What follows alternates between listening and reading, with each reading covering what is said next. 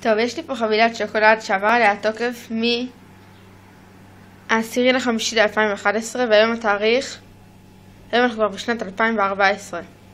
השלישי לרביעי ל-2014. אוקיי? בואו נראה מה קורה. שאני פותחת את השוקולד. קצת מגניב. טוב, עוד רק לפתוח לך? לא, בסדר, אני יודעת. oh my God. רציני עבר על זה? יואו. זה כזה מגניב.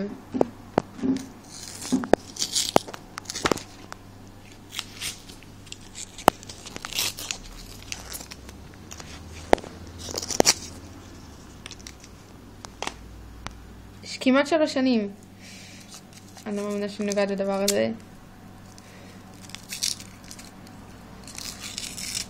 oh my God, זה כמעט נאכל אם אתם לא שמים לב.